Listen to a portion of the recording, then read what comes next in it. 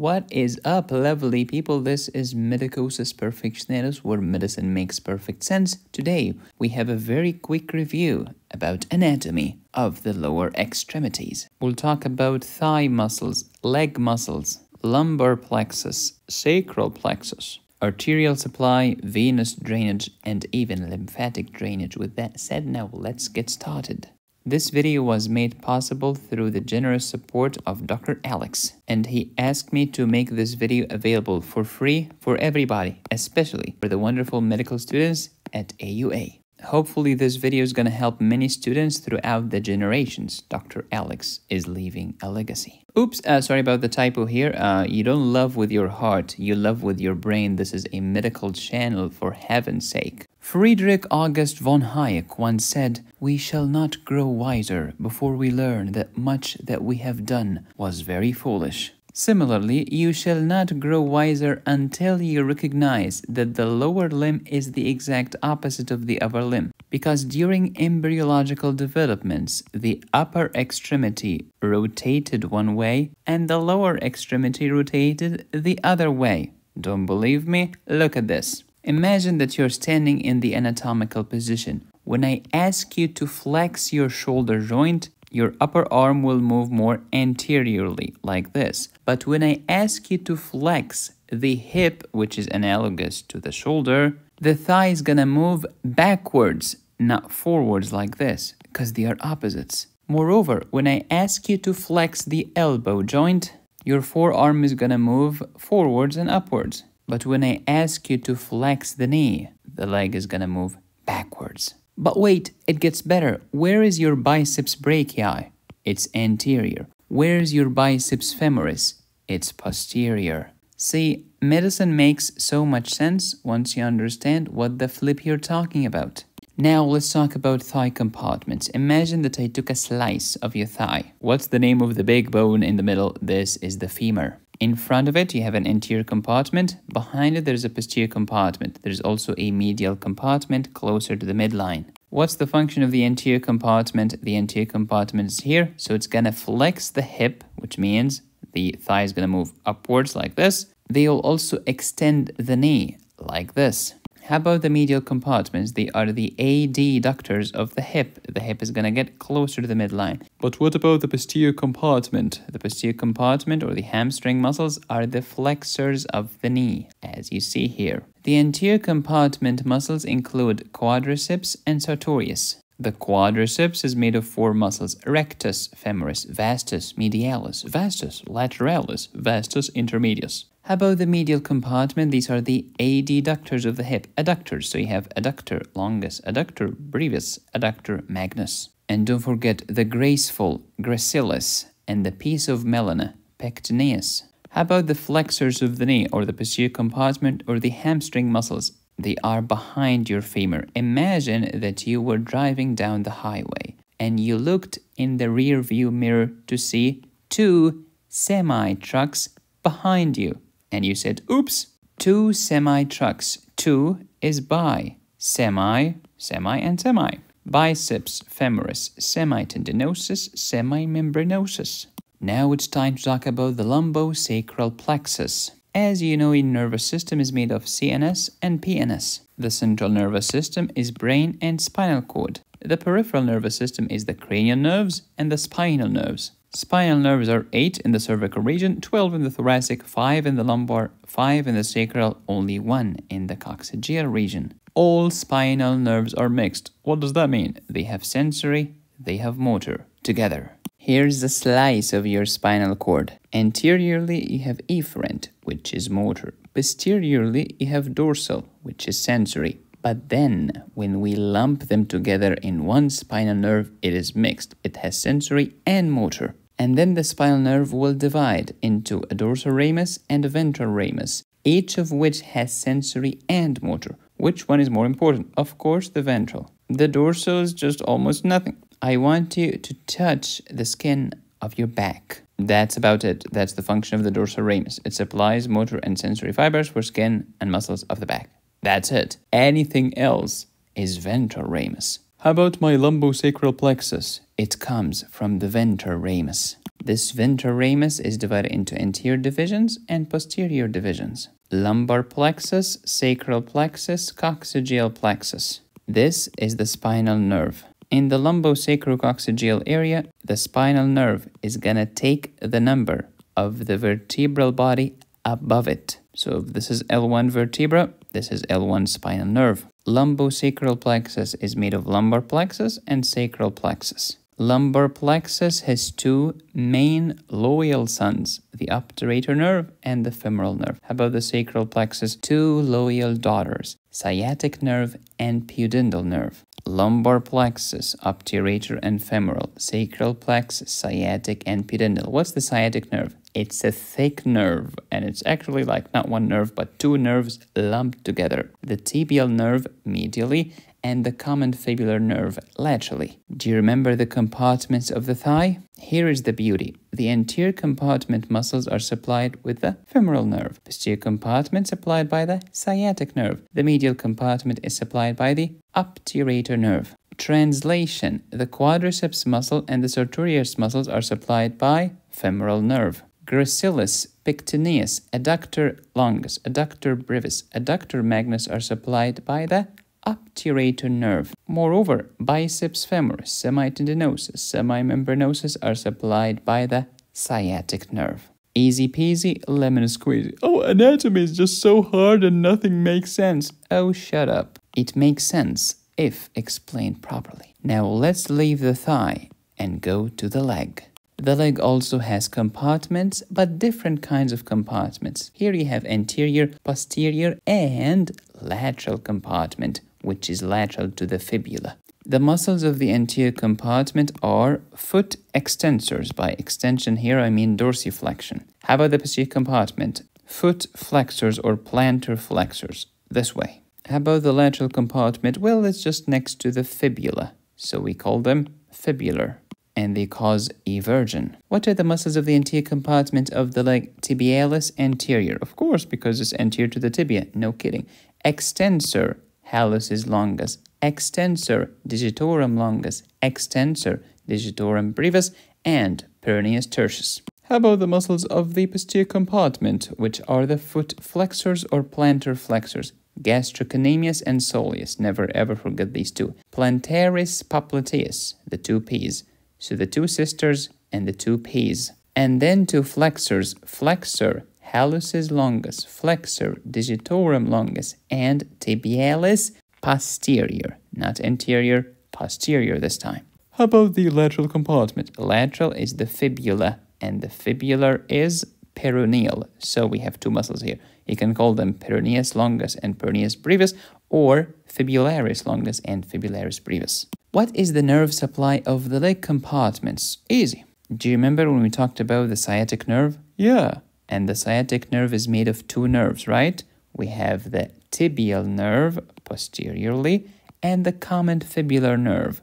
The common fibular nerve will subdivide into musculocutaneous nerve or superficial fibular and anterior tibial or deep fibular. The anterior tibial is for the anterior compartment. The superficial fibular is for the lateral compartment and the tibial nerve is for the posterior compartment. Pause and review. So who's going to supply tibialis anterior extensor, extensor, extensor, and peroneus tertius, anterior tibial nerve? Who's going to supply fibularis longus and fibularis brevis? This is the superficial fibular nerve. Who's going to supply gastrocnemius soleus, plantaris popliteus, flexor, flexor tibialis posterior? This is your posterior tibial nerve or just tibial nerve. Here is the lumbar plexus, here is the sacral plexus. How do we bridge the gap between lumbar and sacral plexus? There is a beautiful, beautiful nerve that bridges the gap, and this is called the lumbosacral trunk. Look at this beauty. Let's start by talking about the lumbar plexus. Okay, where does it come from? Remember, the posterior ramus is useless except for the skin and muscles of the back. Everything else is anterior or ventral ramus. So the lumbar plexus, of course, come from anterior primary rami of L1 through L4. Where do I find them? Embedded within the fibers of the psoas major muscle. Each lovely lumbar spinal nerve is gonna divide into anterior divisions, posterior divisions, anterior divisions, posterior divisions. If you collect the anterior divisions of L2, 3, and 4, you get the obturator nerve. If you collect the posterior divisions of the same L2, 3, 4, you get the femoral nerve. Remember when we said that the lumbar plexus had two loyal sons, the obturator and the femoral. This is the nerve of the anterior compartment of the thigh, and this is the nerve of the medial compartment of the thigh. Who makes the obturator anterior divisions of L2, L3, and L4? Who makes the femoral posterior divisions of L2, L3, and L4? This is so easy, medicosis. Hold your horses, it's gonna get nasty. Let's do it again. Anterior divisions of L2, 3, and 4, obturator nerve. Posterior divisions of L2, 3, and 4, you get the femoral nerve. Next, let's start by L1. L1 is gonna give you ilio, hypogastric, ilio, inguinal, genito, femoral. How about L2? You already know that anterior division of L2 is going to contribute to the obturator nerve. Posterior division of L2 is going to contribute to the femoral nerve. Add to this that L2 posterior division is going to contribute to lateral femoral cutaneous nerve. Provides sensory supply to the lateral part of the thigh. Okay, medicosis, I got this. This is easy. No, you did not, unless you bring out a blank piece of paper and draw the lumbar plexus from scratch. Otherwise, I will smack your gluteus maximus. No pun intended. We're done with the lumbar. Let's talk about the sacral plexus.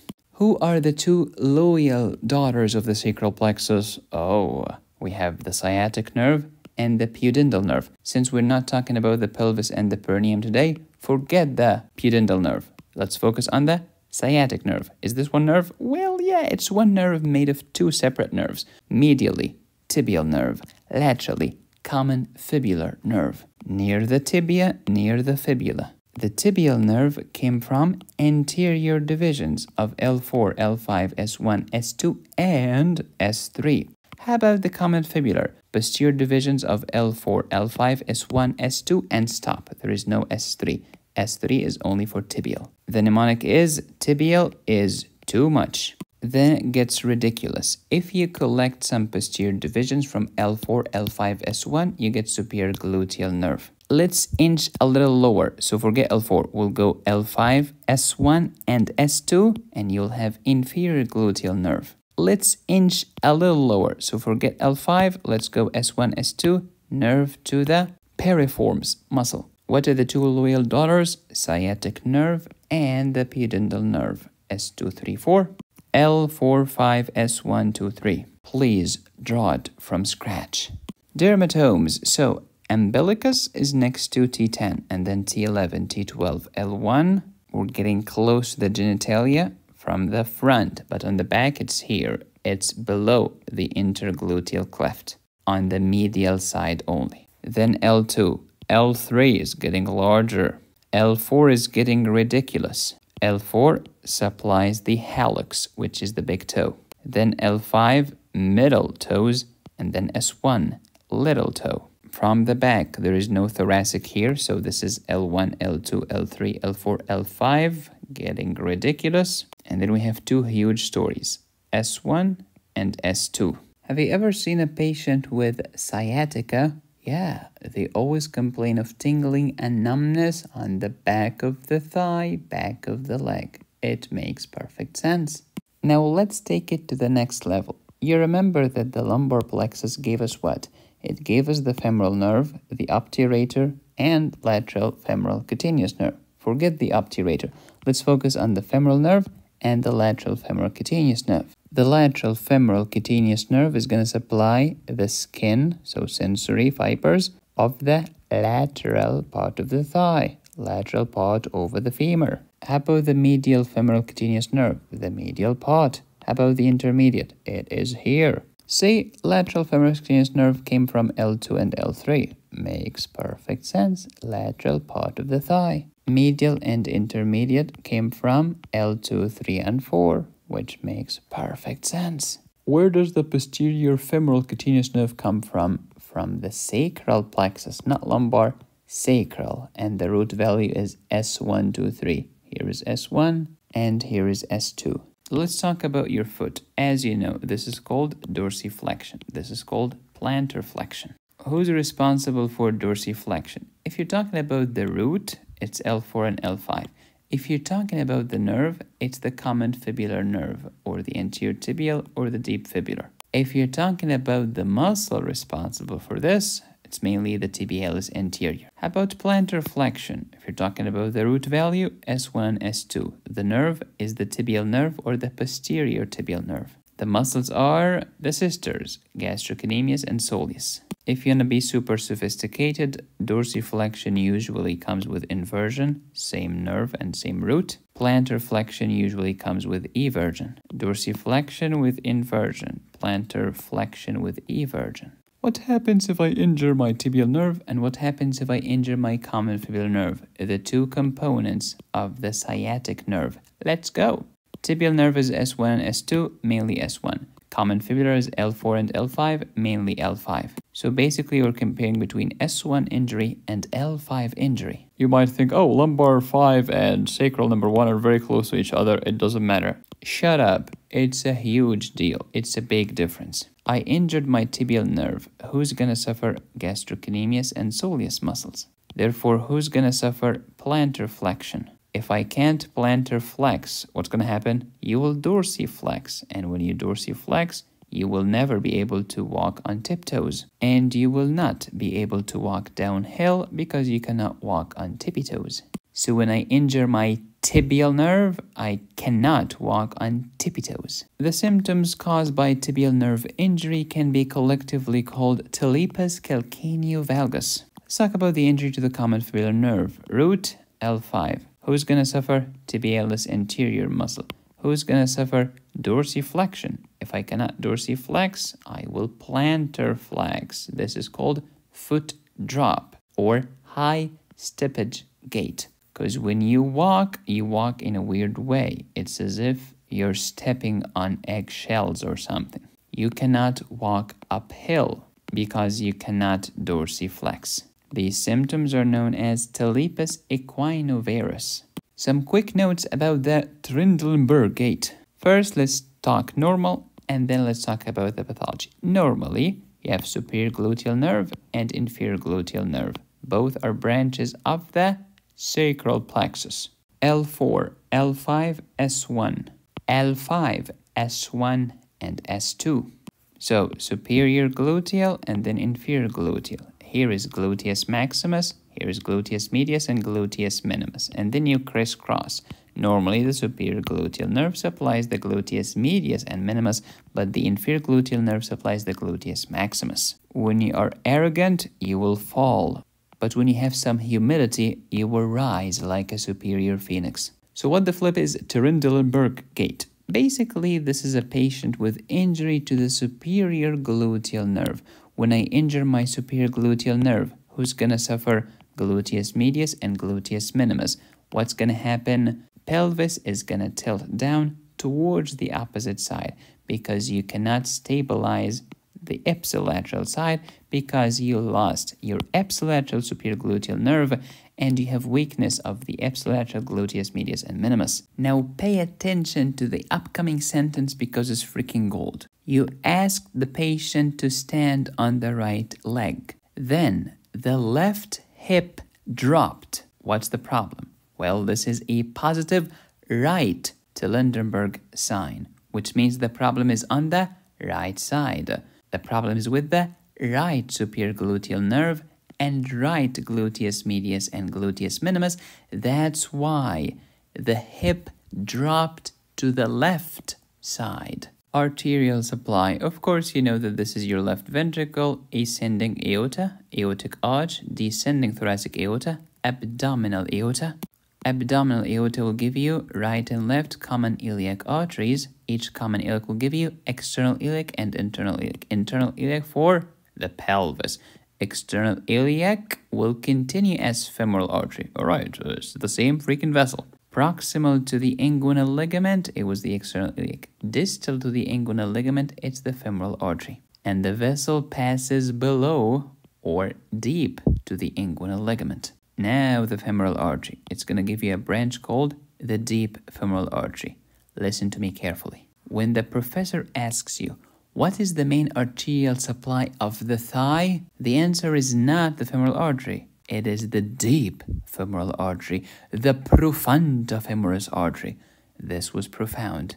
Don't forget this. This deep femoral artery will give you two circumflex branches, medial circumflex femoral, lateral circumflex femoral. Okay, forget the deep femoral artery. Let's go back to the femoral artery. Femoral artery will continue here in the thigh and then it will go backwards behind your knee in the popliteal fossa. It's going to change its name to the popliteal artery. The popliteal artery is going to give you anterior popliteal artery which is going to go to the front of the leg. This anterior popliteal artery is going to continue as the dorsalis pedis artery which will end by anastomosing into the plantar arch. Forget the anterior popliteal. Let's go back to the popliteal artery in the popliteal fossa. It's going to continue downwards as the posterior popliteal artery at the back of the leg. And it's going to end up by branching into medial plantar and lateral plantar. How about venous drainage? It's very similar to the arterial with a very famous exception. You have something called greater saphenous vein, the longest vein in your freaking body. Where does it drain to? It drains to the femoral vein and then you continue as usual. Let me ask you a question. The inguinal ligament is stretched between two structures. Do you remember them? Yep, this is the